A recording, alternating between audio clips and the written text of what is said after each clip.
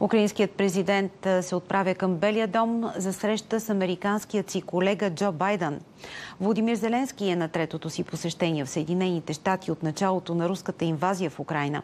Визитата му се случва дни след като Американският конгрес не одобри отпускането на още помощ за Киев. По-рано Байден призова конгресмените да отпуснат 100 милиарда долара за Израел и Украина.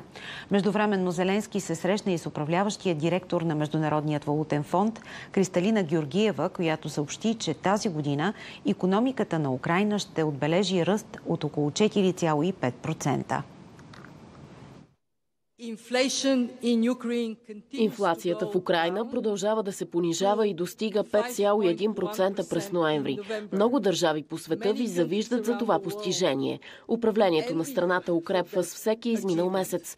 Борбата с корупцията и силната подкрепа на обществото за економическите политики е много впечатляваща.